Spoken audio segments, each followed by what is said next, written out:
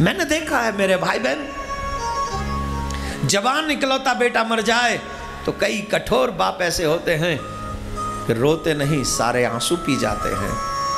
लेकिन मैंने इतना कठोर बाप नहीं देखा कि बेटी के विदा हो और वो रो न सके।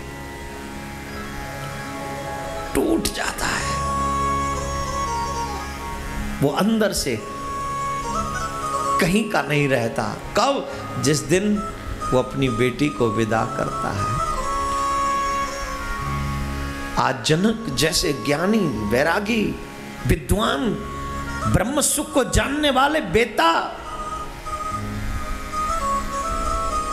जब सीता विदा हो रही है तो धीरता भागी सारी उनकी जो ज्ञान की सीढ़ियाँ थी, सब चकनाचूर हो गई। बेटी के प्रेम के आगे बेटी के वियोग के आगे।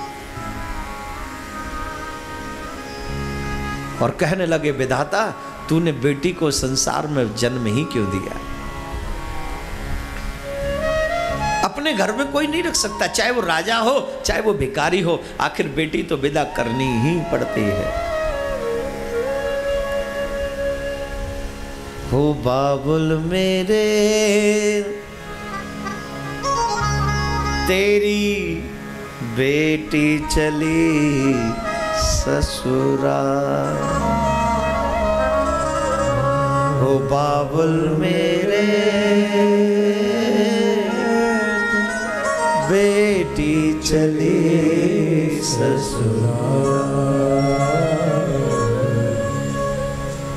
रखियो अपनो ध्यान रे बाबुल। रखियो अपनो बाबुल मेरे तेरी बेटी चली ससुरा उंगली पकड़ के चलना सिखा। उंगली उंगली पकड़ चलना सिखाया गिरने लगी तो बाबुल दौड़ के आया। गिरने लगी तो बाबुल दौड़ के आया। तूने सिखा दी मुझे चाल। तूने सिखा दी मुझे चाल बाबुल तेरी बेटी चली ससुरा बाबुल मेरे बेटी चली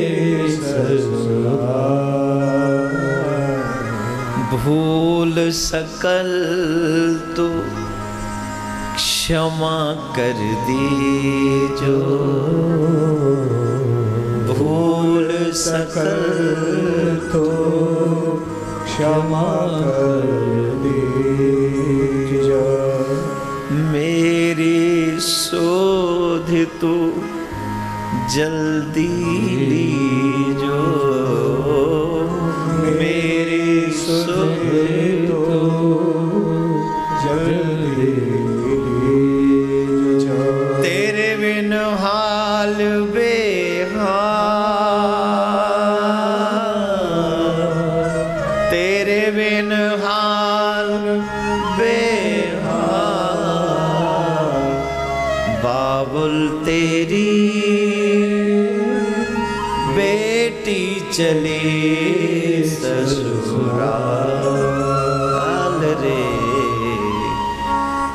बेटी चली।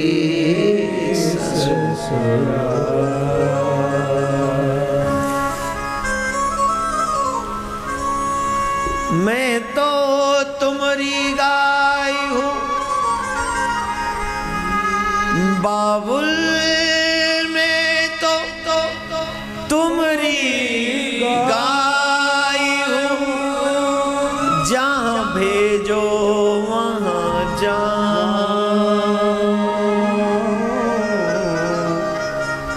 निस दिन दिन ही रात में तेरे गीत मुख माँ।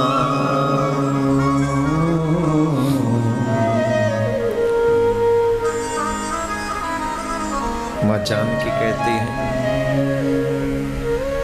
मैं तो आपकी गाय हूँ बाबा।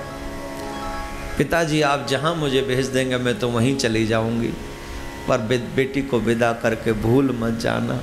अपनी बेटी की सुध जल्दी जल्दी लेते रहना। जनक जी रो पड़े, जनक जी व्याकुल हो गए। कभी सोचा नहीं था कि ये पल भी आएगा, अपने हृदय के टुकड़े को अपने आप से दूर करना पड़े। लेकिन करना तो पड़ता है।